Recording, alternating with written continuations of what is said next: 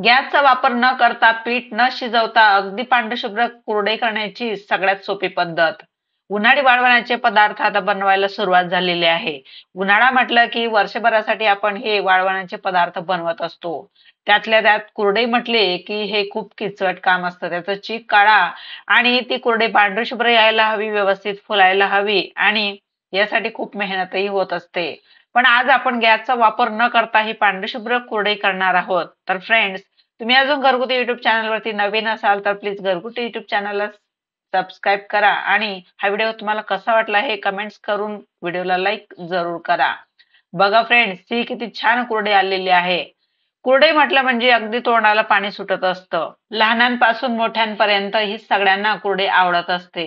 त्यातल्या त्यात जर उपवास म्हटला तर उपवासात सुद्धा आपल्याला ही कुरडे खावीशी वाटते. तर उपवासाच्या दिवसात तुम्हाला ही कोरडी खावासं वाटत असेल तर आज आपण अगदी झटपट ही कोरडी बनवणार आहोत. त्यासाठी बघा ही दोन वाट्या साबुदाणे मी पाण्यात भिजत टाकलेले होते. अगदी छान मोकळं पाणी घ्यायचंय आणि हे साबुदाणे व्यवस्थित भिजवून घ्यायचे आहेत. सकाळी जर हे साबुदाणे भिजत घातले तर रात्री झोपण्याच्या अगोदर एक ग्लास खडखडत उकळत पाणी ठेवायचंय आणि ते उकळलेलं पाणी हे भिजवलेल्या साबुदाण्यांमध्ये आपण टाकून द्यायचंय. म्हणजे जे अर्धवट भिजवलेले साबुदाणे असतील ते छान मऊ लुसलुशीत असे शिजून जातात. आता बघा सकाळ झालेली आहे आणि सकाळी आपण हे पुरण चाळण्याची जी चाळणी आहे ती घ्यायची आहे. आणि त्यावर असे साबुदाणे आपण हलवून खाली जो चोथा निघतो म्हणजे पीठ निघतं तसं काढून घ्यायचं आहे. उकडतं जर पाणी टाकलं तर हे साबुदाणे अगदी या चाळणीने लगेच चाळले जातात आणि चोथाही कमी येतो बघा अशा पद्धतीने हे पूर्ण साबुदाणे आपण या चाळणीमधून काढून घ्यायचे आणि असा हा लगदा आपण तयार करून घ्यायचा. बघा इतके साबुदाणे आपला हा लगदा निघालेला आहे. यात आता चवीनुसार आपण मीठ टाकायचं आहे. मी इथं उपवासासाठी सेंदव मीठ टाकते. तुम्हाला जे हवं असेल ते तुम्ही मीठ टाकू शकतात. आता पूर्ण आपण हे मिक्स करून घ्यायचं आहे. तर बघा फ्रेंड्स हे साबुदाणे आपण या चाळणीतून काढत असताना पाण्याचा वापर मुळीच करू नये. इथं माझं थोडं जास्त पाणी झाल्यामुळे अशा पद्धतीने हे पातळ पीठ होऊ शकतं तर तुम्ही काळजी घ्यायची आहे. इथं आता कुरडईचा साचा घेतलेला आहे. मी इथं टेरेस वरती एक छान आपण ट्रान्सपरंट असा प्लास्टिकचा पेपर धुवून घ्यायचा आहे स्वच्छ. जागेवरती आपण टाकायचं आहे. आणि अशा पद्धतीने साच्यामध्ये आपण हे पीठ टाकून मस्त कुरडई करायची आहे. अगदी कमीत कमी मेहनतीत या कुरड्या कुणीही करू शकतं. बघा किती छान पांढऱ्या शुभ्र अशा कुरडई आलेली आहे. ही कुरडई अगदी एका दिवसातच वाढते. आता ऊनही छान पाळायला लागलेलं आहे. बघा अगदी मस्त कुरडे आलेली आहे. आणि उपवासाच्या दिवसांमध्ये आपल्याला ही कुरडई अगदी छान मऊ लुसलुशीत वाटते. खायलाही अगदी चविष्ट वाटते.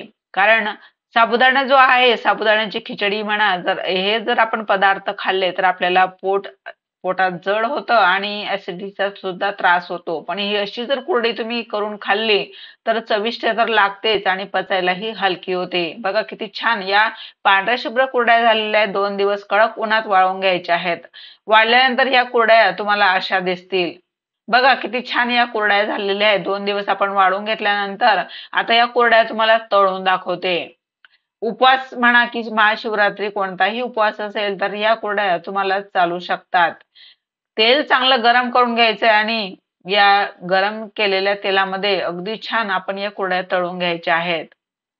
तळल्यानंतर तुम्ही बघू शकाल की ती पांढरी शुभ्र अगदी कापसासारखी ही कुरडे वाटते आहे. उपवास म्हटला म्हणजे बऱ्याच जणांना चावायला त्रास होतो आणि साबुदाणे हे गार झाल्यानंतर सुद्धा आपले चावले जात नाही. तर ही साबुदाण्याची कोरडे तुम्हाला हवं तेव्हा केव्हाही तळू शकतात. यात शेंगदाणे थोडे तळले तर किती चव छान येईल. म्हणून अशा वेगवेगळ्या प्रकारे ही वेगवेगळी रेसिपी तुम्ही करू शकतात.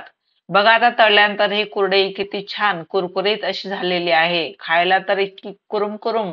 तर लहान मुलांना सुद्धा ही तुम्ही कुरडई तळून देऊ शकतात. तर फ्रेंड्स आता पुढच्या व्हिडिओमध्ये उन्हाळी वळवण्याचा कोणता पदार्थ बनवायचा आहे हे मला कमेंट्स करून नक्की कळवा. पुन्हा भेटूया अशाच नवीन व्हिडिओ सोबत. धन्यवाद.